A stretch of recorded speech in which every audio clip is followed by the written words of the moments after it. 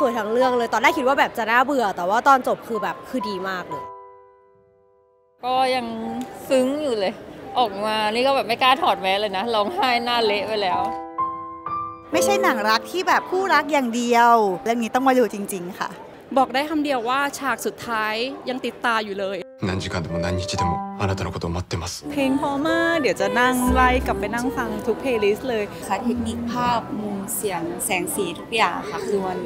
สื่อถึงคนดูได้ดีมาก ๆ เลยค่ะ ก็ภาพสวยเพลงเพอมากเลยค่ะ แล้วก็เนื้อเรื่องแบบซึ้งมากก็มีแอบร้องไห้ไปด้วยค่ะ เมเมหล่อมากค่ะ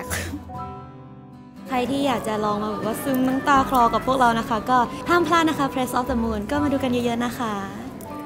もう一度会いたいという思いが 時を超えて奇跡を起こす。